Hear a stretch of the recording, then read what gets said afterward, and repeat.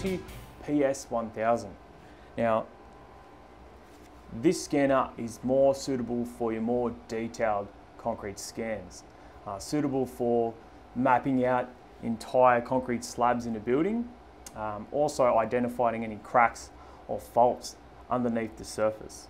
Um, and included in the kit also is the grid paper you see in front of me here. Uh, we've got two sizes. Uh, the smaller size we're using here, just because it's a bit of a confined space at the moment, and you've got the bigger one here that's twice the size.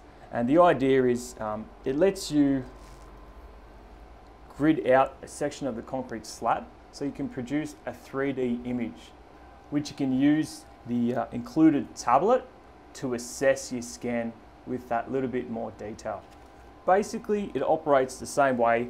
It's just got a, a little bit of a bigger footprint, although it's just your side to side motion.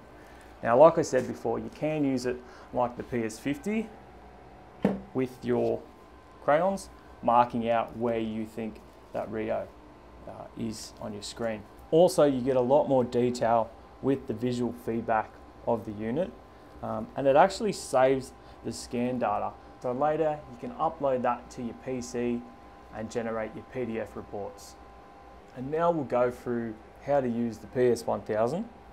Now, there are a few options we have at hand, but I'm going to go through what we call image scan.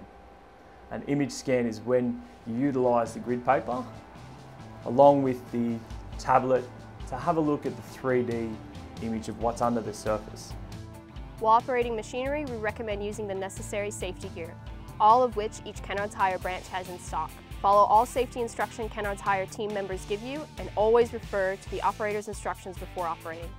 Instructions are available on the Kennards Hire website or ask at your branch.